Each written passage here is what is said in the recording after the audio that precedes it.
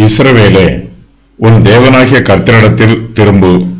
இஸ்ரவேலே உன் தேவனாகிய கர்த்தரிடத்தில் திரும்பு. நீ உன் அக்கிரமத்தினால் விழுந்தாய். வார்த்தைகளைக் கொண்டு கர்த்தரிடத்தில் திரும்புங்கள். அவரை நோக்கி தேவரீர் எல்லா அக்கிரமத்தையும் நீக்கி எங்களை தயவாய் அங்கீகரித்தருளும். அப்பொழுது நாங்கள் எங்கள் உதடுகளின் காளைகளை செலுத்துவோம். அசீரியா எங்களை ரட்சிப்பதில்லை. நாங்கள் குதிரைகளின் மேல் ஏறமாட்டோம். எங்கள் கைகளின் கிரியையை பார்த்து நீங்கள் எங்கள் தேவர்கள் என்று இனி சொல்ல மாட்டோம் திக்கற்றவர்கள் உம்மிடத்தில் இரக்கம் பெறுகிறான் என்று சொல்லுங்கள். பாவிகள் தங்கள் பாவங்களுக்கு மனம் திரும்ப வேண்டும் என்று கர்த்தர் அன்பாய் அழைக்கிறார். இந்த அழைப்பு இங்கு இஸ்ரவேல் புத்திரருக்கு விசேஷமாய் கொடுக்கப்படுகிறது. இவர்கள் கர்த்தருடைய ஜனம். இஸ்ரவேல் புத்திரர் கர்த்தருக்காக வேறு பிரிக்கப்பட்டிருக்கிறவர்கள். ஆனால் அவர்களோ தங்கள் அக்கிரமத்தினால் விழுந்து கிடக்கிறார்கள். இஸ்ரவேலே உன் தேவனாகிய கர்த்தரிடத்தில் திரும்பு என்று கர்த்தர் சொல்லுகிறார். சபையில் உள்ள விசுவாசிகளுக்கும் சபைக்கு வெளியே இருக்கும் அவிசுவாசிகளுக்கும் மனம் திரும்புங்கள் என்னும் செய்தியை பிரசங்கம் பண்ண வேண்டும். மனம் திரும்ப வேண்டும் என்னும் செய்தியை இஸ்ரவேல் புத்திரருக்கும் சொல்ல வேண்டும். புற ஜாதியாருக்கும் சொல்ல வேண்டும். யாரெல்லாம் தங்களுடைய அக்கிரமத்தினால் விழுந்து கிடக்கிறார்களோ அவர்கள் எல்லோருமே தங்கள் பாவங்களுக்கு மனம் திரும்ப வேண்டும். நீ உன் அக்கிரமத்தினால் விழுந்தாய் என்னும் வாக்கியத்திற்கு? நீ இடறி விழுந்தாய் என்று வேத பண்டிதர்கள் பொருள் சொல்லுகிறார்கள். இஸ்ரவேல் புத்திரருக்கு விக்கிரகங்கள் இடறுதற்கு ஏதுவான தடைக்கற்களாய் இருக்கிறது. அவர்கள் விக்கிரக ஆராதனையில் விழுந்து கிடக்கிறார்கள். பாவம் என்பது இடறி விழுவதை குறிப்பிடுகிறது. பாவத்தில் விழுந்து விடுகிறவர்கள் தங்கள் பாவங்களுக்கு மனம் திரும்பி மறுபடியும் எழுந்திருக்க வேண்டும். இதையே கர்த்தர் உன் தேவனாகிய கர்த்தரிடத்தில் திரும்பு என்று சொல்லுகிறார். நாம் தேவனிடத்தில் திரும்பும் போது நாம் கர்த்தரை சார்ந்து ஜீவிக்க ஆயத்தமாய் இருக்க வேண்டும்.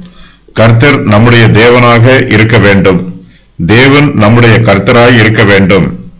உன் தேவனாகிய கர்த்தரிடத்தில் திரும்பு என்னும் வாக்கியத்திற்கு கர்த்தரோடு அமைதியாக வாசம் பண்ணு என்றும் பொருள் சொல்லலாம். மனம் திரும்புதல் மிகவும் முக்கியமானது. நாம் மனம் திரும்பும் போது தேவனுடைய மகிமையின் சிங்காசனத்திற்கு முன்பாக நாம் அமைதியாக நிற்கிறோம். தேவனுடைய தயவையும் கிருபையையும் இரக்கத்தையும் எதிர்பார்த்து காத்துக் கொண்டிருக்கிறோம். இஸ்ரவேல் புத்திரர் தங்கள் தேவனாகிய கர்த்தரிடத்தில் எப்படி திரும்ப வேண்டும் என்றும் கர்த்தர் சொல்லுகிறார். அவர்கள் கர்த்தரிடத்தில் வரும்போது அவரிடத்தில் என்ன சொல்ல வேண்டும் என்பது அவர்களுக்கு தெரிந்திருக்க வேண்டும்.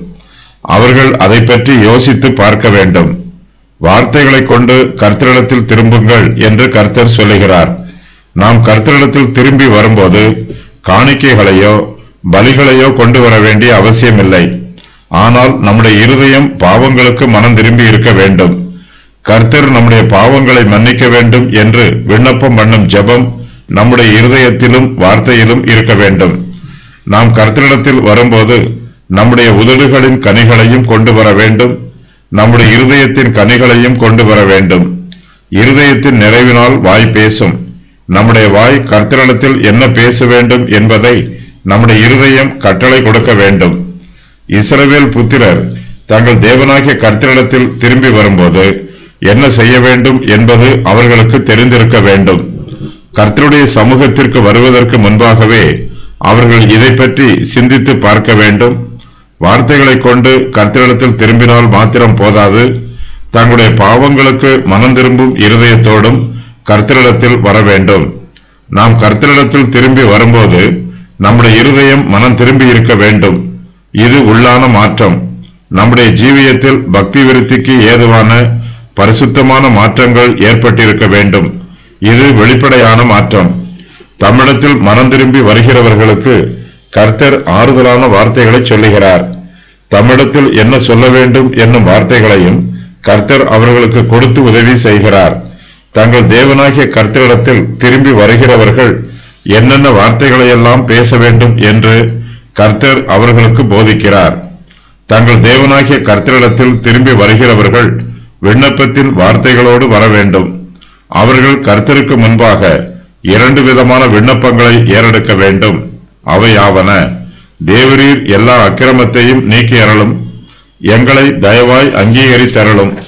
நாம் கர்த்தரிடத்தில் திரும்பி வரும்போது கர்த்தர் நம்முடைய அக்கிரமத்தை நீக்க வேண்டும் என்று அவரிடத்தில் விண்ணப்பம் பண்ண வேண்டும். நம்முடைய சுய முயற்சியினால் நம்முடைய அக்கிரமத்தை நம்மால் நீக்க முடியாது. கர்த்தரால் மாத்திரமே நம்முடைய அக்கிரமத்தை நீக்க முடியும். அவரால் மாத்திரமே நம்மை சுத்தம் பண்ண முடியும். நம்முடைய அக்கிரமங்கள் நம்முடைய பாதையில் தடைக்கற்களைப் போல இருக்கிறது. நாம் பல சமயங்களில் அக்கிரமத்தின் மீது மோதி இடறி விழுந்து விடுகிறோம். கர்த்தர் நம்முடைய அக்கிரமத்தை நீக்கி போட்டால் நமக்கு முன்பாக தடைக்கற்கள் இருக்காது. நாமும் இடறி விழாமல் கர்த்தரை நோக்கி முன்னேறி செல்வோம். நம்முடைய சொந்த முயற்சியினால் அல்லது நம்முடைய சொந்த பலத்தினால் நமக்கு முன்பாக தடைக்கல்லை போல இருக்கும் அக்கிரமத்தை நம்மால் நீக்கி போட முடியாது. கர்த்தரே தம்முடைய கிருபையினால் நம்முடைய அக்கிரமத்தை நீக்கி போட்டு நமக்கு உதவி செய்ய வேண்டும். நாம் கர்த்தருடைய சமூகத்திற்கு முன்பாக வரும்போது கர்த்தர் நம்மை பரிசுத்தவான்களாக அங்கீகரிக்க வேண்டும். தேவனுடைய பார்வையில் நாம் பரிசுத்தவான்களாய் காணப்பட வேண்டும். கர்த்தர் தம்முடைய திரு ரத்தத்தினால் நம்மை சுத்திகரிக்கும் போது நாம் பரிசுத்தவான்களாக இருப்போம். எங்களை தயவாய் அங்கீகரித்தரலும் என்று நாம் பணிவோடு கர்த்தரிடத்தில் ஜெபம் பண்ணும்போது கர்த்தர் தமது கிருபையினால் நம்மை சுத்திகரித்து நம்மை பரிசுத்தவான்களாக அங்கீகரிக்கிறார். கர்த்தர் நம்முடைய ஜெபத்திற்கு செவி கொடுக்க வேண்டும். அவர் தமது கிருபையினால் நம்முடைய விண்ணப்பங்களுக்கு பதில் கொடுக்க வேண்டும். கர்த்தர் தம்முடைய தயவினாலேயே நம்முடைய அக்கிரமத்தை நீக்குகிறார். அதே தயவினாலேயே அவர் நம்மை அங்கீகரித்தருளுகிறார். நமக்கு நன்மையான ஈவுகளை கொடுக்கிறார். நம்முடைய அக்கிரமம் நம்மை விட்டு நீங்கினால்தான் நம்மால் கர்த்தருடைய நன்மைகளை பெற்றுக்கொள்ள முடியும். நம்மிடத்தில் அக்கிரமம் இருக்கும் வரையிலும் நம்மால் கர்த்தருடைய ஆசீர்வாதங்களை பெற்றுக்கொள்வதற்கு வழியில்லை. தயவு என்னும் வார்த்தைக்கு நன்மை என்றும் பொருள் சொல்லலாம். கர்த்தர் நமக்கு தயவை கொடுக்கும்போது அந்த தயவு நம்மை பரிசுத்தவான்களாக மாற்றும். நாம் மறுபடியும் பாவத்திலும் அக்கிரமத்திலும் விழுந்து விடாதவாறு கர்த்தருடைய தயவு நம்மை பாதுகாக்கும். நம்முடைய தேவனாகிய கர்த்தரிடத்தில் நாம் திரும்பி வரும்போது பொருத்தனையின் வார்த்தைகளோடு வர வேண்டும் கர்த்தரே இந்த வார்த்தைகளை இஸ்ரவேல் புத்திரருக்கு கொடுக்கிறார். நம்முடைய ஜெபத்தில் நாம் பயன்படுத்தும் வார்த்தைகளினால் கர்த்தரை அசைக்க முடியாது. நம்முடைய ஜெப வார்த்தைகள் நம்மை அசைக்க வேண்டும். இஸ்ரவேல் புத்திரர் கர்த்தரிடத்தில் திரும்பி வரும்போது இரண்டு காரியங்களை பொருத்தனை பண்ண வேண்டும். அவையாவன கர்த்தருக்கு நன்றி சொல்லுவது பாவத்தை விட்டு விலகி பரிசுத்தமாய் ஜீவிப்பது இஸ்ரவேல் புத்திரர் கர்த்தரிடத்தில் திரும்பி வரும்போது அவரை நோக்கி தேவரீர் எல்லா அக்கிரமத்தையும் நீக்கி எங்களை தயவாய் அங்கீகரித்தரலும் அப்பொழுது நாங்கள் எங்கள் உதடுகளின் காளைகளை செலுத்துவோம் என்று சொல்ல வேண்டும். உதடுகளின் காளைகள் என்னும் வாக்கியம் செப்துவஜின் பதிப்பில் உதடுகளின் கனி என்று சொல்லப்பட்டிருக்கிறது. இந்த வார்த்தை சர்வாங்க தகன பலிகளை குறிப்பதற்கும் பயன்படுத்தப்பட்டிருக்கிறது. அப்போஸ்தலர் பவுல் இந்த வாக்கியத்தை எபரையருக்கு எழுதின நிருபத்தில் மேற்கோளாக எழுதியிருக்கிறார். ஆகையால் அவருடைய நாமத்தை துதிக்கும் உதடுகளின் கனியாகிய ஸ்தோத்திர பலியை அவர் மூலமாய் எப்போதும் தேவனுக்கு செலுத்த கடவோம். எபிரேயர் பதிமூன்று பதினைந்து. இஸ்ரவேல் புத்திரர் தங்கள் தேவனாகிய கர்த்தரிடத்தில் திரும்பி வரும்போது தங்களுடைய மனமாற்றத்தை வார்த்தையினால் சொன்னால் மாத்திரம் போதாது. அவர்களுடைய ஜீவியத்தில் உண்மையான மனமாற்றம் ஏற்பட்டிருக்க வேண்டும். இஸ்ரவேல் புத்திரர் தங்கள் பாவங்களுக்கு மனம் திரும்புவதற்கு முன்பாக அவர்கள் கர்த்தரை நம்பாமல் அசீரியரை நம்பினார்கள். இப்போது அசீரியரை நம்பாமல் கர்த்தரை நம்புவதாக சொல்லுகிறார்கள். இஸ்ரவேல் புத்திரர் தங்கள் வாயினால் சொல்லுவதை நடைமுறையில் செயல்படுத்த வேண்டும். இஸ்ரவேல் புத்திரர் தங்கள் தேவனாகிய கர்த்தரிடத்தில் திரும்பி வந்து அசீரியா எங்களை ரட்சிப்பதில்லை என்று உண்மையான மனதோடு சொல்ல வேண்டும். அவர்கள் இதுவரையிலும் தங்களுக்கு ஆபத்து வரும்போதும் உதவி தேவைப்படும் போதும் அசீரியருடைய உதவிகளை நாடிப்போனார்கள் இஸ்ரவேல் புத்திரர் இனிமேல் அசீரியருடைய உதவியை நாடிப் போக மாட்டார்கள். எப்ராயிம் தன் வியாதியையும் யூதா தன் காயத்தையும் கண்டபோது எப்ராயிம் அசீரியன் அண்டைக்கு போய் யாரே ராஜாவினிடத்தில் ஆள் அனுப்பினான். ஆனாலும் உங்களை குணமாக்கவும் உங்களில் இருக்கிற காயத்தை ஆற்றவும் அவனால் கூடாமற் போயிற்று. ஓசியா ஐந்து பதிமூன்று. எப்ராஹிம் பேதையான புறாவை போல் இருக்கிறான். அவனுக்கு புத்தி இல்லை. எகிப்தியனை கூப்பிடுகிறார்கள். அசீரிய நடத்துக்கும் போகிறார்கள். ஓசியா ஏழு பதினொன்று. அவர்கள் தனித்து திரிகிற காட்டு கழுதையைப் போல் அசீரியர் அண்டைக்கு போனார்கள். எப்ராஹிமர் நேசரை கூலிக்கு பொருந்திக் கொண்டார்கள். ஓசியா எட்டு ஒன்பது. இஸ்ரவேல் புத்திரர் தங்கள் தேவனாகிய கர்த்தரிடத்தில் திரும்பி வந்து நாங்கள் குதிரைகளின் மேல் ஏறமாட்டோம் என்றும் சொல்லுகிறார்கள். எகிப்து தேசத்தில் ஏராளமான குதிரைகள் உள்ளது. இஸ்ரவேல் புத்திரர் எகிப்தியரோடு உடன்படிக்கை செய்து அவர்களிடத்தில் இருந்து குதிரைகளை வாங்கி இருக்கிறார்கள். நாங்கள் குதிரைகளின் மேல் ஏறமாட்டோம் என்னும் வாக்கியத்திற்கு நாங்கள் எகிப்தியரின் உதவிகளை நாடி போக மாட்டோம் என்று பொருள். அவன் அநேக குதிரைகளை சம்பாதியாமலும் அநேக குதிரைகளை தனக்கு சம்பாதிக்கும்படிக்கு ஜனங்களை திரும்ப எகிப்திற்கு போக பண்ணாமலும் இருக்க கடவன். இனி அந்த வழியாய் நீங்கள் திரும்பி போக வேண்டாம் என்று கர்த்தர் உங்களுக்கு சொல்லி இருக்கிறாரே உபாகமம் பதினேழு பதினாறு. அப்படி அல்ல. குதிரைகளின் மேல் ஏறி ஓடிப்போவோம் என்கிறீர்கள். அப்படியே ஓடிப்போவீர்கள். வேகமான வாகனங்களின் மேல் ஏறிப்போவோம் போவோம் என்கிறீர்கள். அப்படியே உங்களை துரத்துகிறவர்கள் வேகமாய் துரத்துவார்கள். ஏசாயா முப்பது பதினாறு.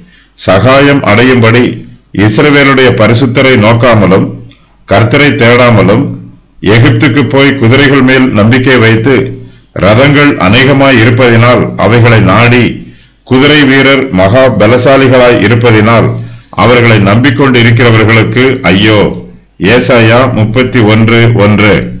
எகிப்தியர் தெய்வம் அல்ல மனுஷர் தானே. அவர்களுடைய குதிரைகள் ஆவி அல்ல மாம்சம் தானே. கர்த்தர் தமது கரத்தை நீட்டுவார். அப்பொழுது சகாயம் செய்கிறவனும் இடறி சகாயம் பெறுகிறவனும் விழுந்து அனைவரும் ஏகமாய் அழிந்து போவார்கள். ஏசாயா முப்பத்தி ஒன்று மூன்று. நாம் கர்த்தருடைய சமூகத்தில் ஜெபம் பண்ண வரும்போது பொருத்தனை பண்ணி ஜெபம் பண்ண வேண்டும். நம்முடைய இருதயங்களை உலக பிரகாரமான காரியங்களில் வைக்கப் போவதில்லை என்றும் நம்முடைய மனதில் வீண் பெருமைகளுக்கு இடம் கொடுக்க போவதில்லை என்றும் மாய்மாலம் பண்ண போவதில்லை என்றும் கர்த்தரிடத்தில் பொருத்தனை பண்ண வேண்டும்.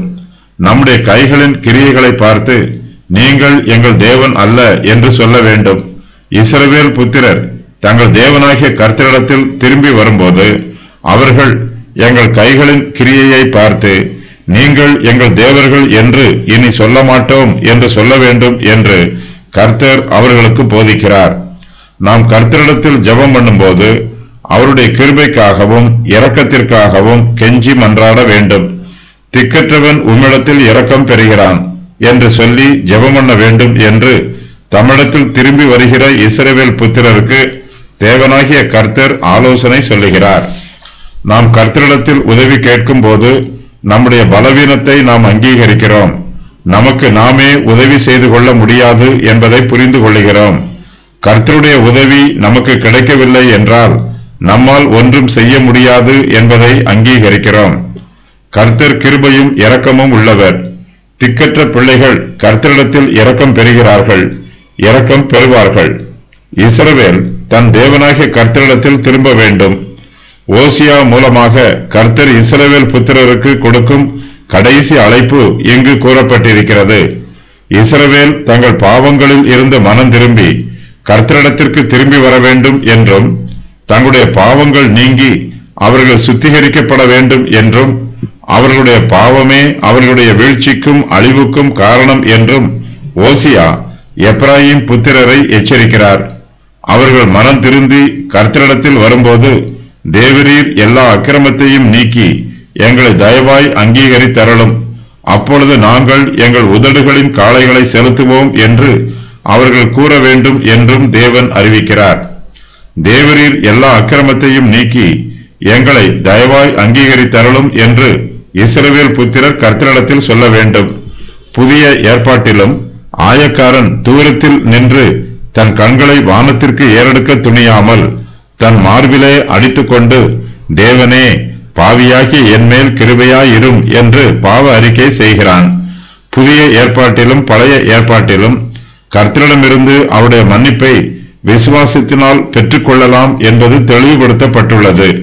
அப்பொழுது நாங்கள் எங்கள் உதடுகளின் காளைகளை செலுத்துவோம் என்று இஸ்ரவேல் புத்திரர் கர்த்தரிடத்தில் சொல்ல வேண்டும். இந்த வாக்கியம் அவருடைய நாமத்தை துதிக்கும் உதடுகளின் கனியாகிய ஸ்தோத்திர பலியை அவர் மூலமாய் எப்போதும் தேவனுக்கு செலுத்த கடவோம் என்று எபிரையர் பதிமூன்று பதினைந்தாவது வசனத்தில் மேற்கோளாக கூறப்பட்டுள்ளது. நிறைவேற வேண்டிய முன்னறிவிப்புகள். அசீரியா எங்களை ரட்சிப்பதில்லை நாங்கள் குதிரைகளின் மீது நம்பிக்கை வைக்க மாட்டோம். எங்கள் கைகளின் கிரியையை பார்த்து நீங்கள் எங்கள் தேவர்கள் என்று இனி சொல்ல மாட்டோம். நான் அவர்கள் சீர்கேட்டை குணமாக்குவேன். அவர்களை மனப்பூர்வமாய் சிநேகிப்பேன். நான் இஸ்ரவேலுக்கு பனியைப் போல் இருப்பேன். அவன் லீலி புஷ்பத்தைப் போல் மலர்வான். லீபனோனைப் போல் வேரூன்றி நிற்பான். அவன் கிளைகள் ஓங்கி பலரும் அவன் அலங்காரம் ஒலிவ மரத்தினுடைய அலங்காரத்தைப் போல இருக்கும். அவனுடைய வாசனை லீபனோனுடைய வாசனையைப் போல இருக்கும். அவன் நிழலில் குடியிருக்கிறவர்கள் திரும்புவார்கள். தானிய விளைச்சலைப் போல செழிப்பார்கள். திராட்சை செடிகளைப் போல படருவார்கள். அவன் வாசனை லீபனோனுடைய திராட்சரசத்தின் வாசனையைப் போல இருக்கும். இனி எனக்கும் விக்கிரகங்களுக்கும் என்ன என்று எப்ராஹிம் சொல்லுவான்.